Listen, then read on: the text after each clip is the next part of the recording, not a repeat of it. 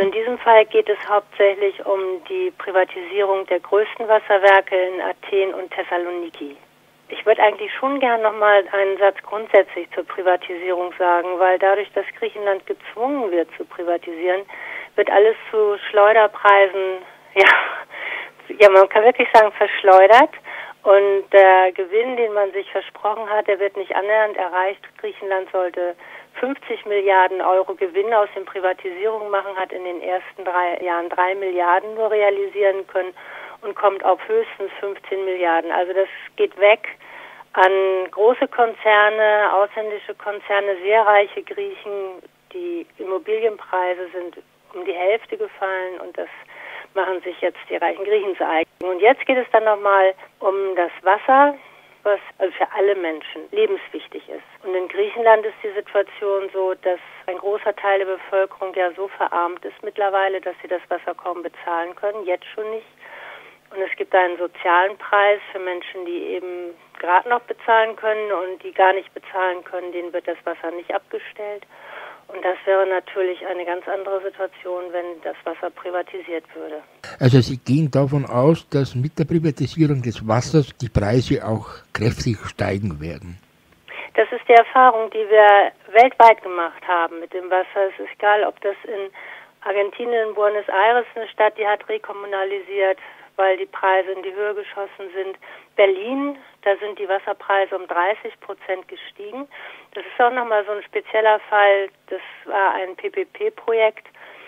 Das heißt, 51 Prozent waren bei der Stadt Berlin geblieben und nur 49 Prozent war den Konzernen haben die Konzerne bekommen.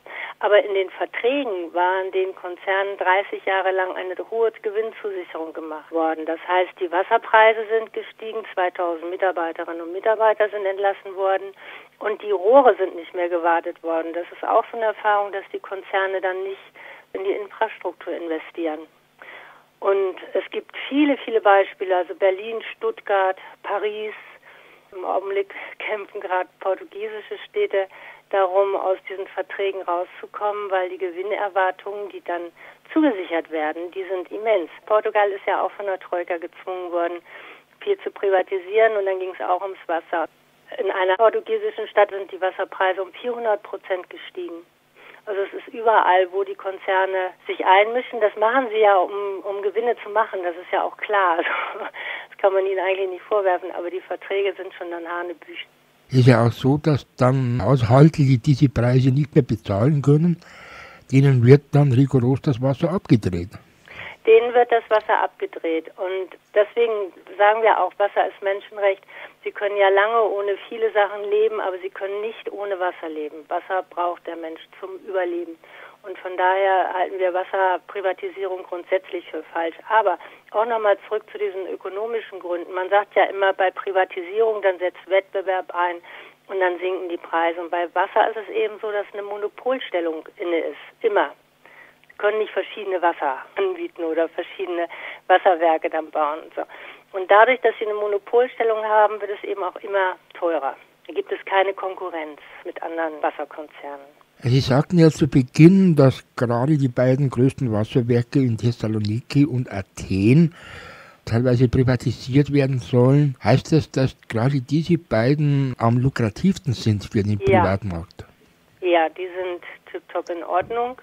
Die machen jedes Jahr Gewinn von, ich weiß nicht, 100 so und so 420 Millionen, glaube ich, und versorgen ja ein Großteil der Leute in Griechenland werden dann auch über Kanister versorgt, weil die gar keine eigene Wasserversorgung haben. Also es ist schon ein sehr aufwendiges Unterfangen, was sie machen. Und das werden die Konzerne sich dann auch überlegen, wo sparen wir ein. Das ist ja immer so, dass sie dann auch gleich gucken, wo sie einsparen können, um ihren Profit zu sichern. Also die Sorge ist wirklich in Griechenland, dass ein größerer Teil von der Bevölkerung von Wasserversorgung ausgeschlossen wird. Ist ja dann so ähnlich wie bei den Flughäfen. Da wurden auch die lukrativsten privatisiert und den Rest muss der Staat bezahlen. Ne? Ja, das ist ja noch viel schlimmer. das ist noch viel, viel schlimmer. Das habe ich mir nicht vorstellen können, weil Fraport ist ja ein Unternehmen noch in öffentlicher Hand zu 51 Prozent des Land Hessen und die Stadt Frankfurt. Sie haben sich erstens nur die lukrativsten Flughäfen rausgepickt und dann haben sie einen Vertrag ausgehandelt, der auch nicht öffentlich war. Das kommt immer dazu. Diese Verträge sind nie öffentlich und es braucht dann viel Geschick und Recherche, um da ranzukommen.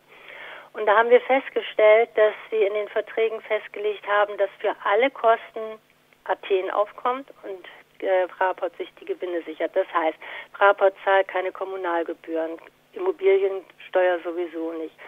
Fraport hat sich abgesichert nach 40 Jahren, wenn sie ein Defizit haben, weil der Tourismus einbricht, wie jetzt in der Türkei, dass dann der griechische Staat das Defizit übernimmt. Wenn die EU Auflagen macht, umweltmäßig meinetwegen oder Gutachten erstellt werden müssen, muss das alles der griechische Staat zahlen. Wenn es zu Arbeitsunfällen kommt und dadurch für eine Entschädigung gezahlt werden muss, auch der griechische Staat zahlen. Wenn Geschäfte auf diesem Fraport-Gelände pleite machen, muss der griechische Staat zahlen. Wenn Fraport erweitern will, das wollen sie ja, weil die machen dann ja viel mit so einer Infrastruktur mit Geschäften drumherum und dann müssen Landstücke enteignet werden. Das muss dann auch alles der griechische Staat bezahlen. Also sie haben einen Vertrag ausgehandelt, da zieht es einen die Schuhe aus und wenn die Beschäftigten streiken, dann muss natürlich auch der griechische Staat die Kosten übernehmen, den Ausfall.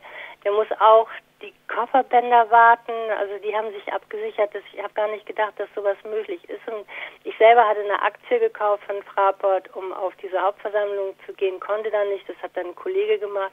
Und die haben dann auch den Vorstandsvorsitzenden Schulte konfrontiert mit diesen Verträgen und der hat gesagt, ja, stimmt schon, das meiste ist üblich. Und wenn wir nicht so eine guten Verträge für uns ausgehandelt hätten, dann hätten wir den Preis weiter drücken müssen. Der Preis ist ja schon mal nicht hoch für die Flughäfen gewesen. Also es ist, das ist wirklich erschütternd. Nun gibt es ja eine Petition an den Bundesfinanzminister Schäuble und dem EU-Kommissionspräsidenten Juncker. Was ist der Inhalt dieser Petition und wie kann man sich daran beteiligen? Also wir haben Bezug genommen nochmal auf die Bürgerinitiative, die europäische, die vor vier Jahren stattgefunden hat. Da haben ja fast zwei Millionen Menschen unterschrieben, dass Wasser nicht privatisiert werden soll. Da gab es einen Vorstoß von der EU. Und da gab es dann eine Zusicherung 2013, dass Wasser, dass keine Kommune gezwungen werden soll, Wasser zu privatisieren. Daran knüpfen wir an, weil das jetzt ja ein Bruch, also die haben zwar nicht ein Versprechen gegeben, wir privatisieren nirgendwo, aber es ist ja schon ein Bruch von diesem Versprechen und haben das nochmal dargelegt in dieser Petition, was das bedeuten würde, Privatisierung der Wasserversorgung, bringen ein paar Beispiele, Berlin natürlich, andere, und fordern auf, Griechenland nicht dazu zu zwingen, das zu machen.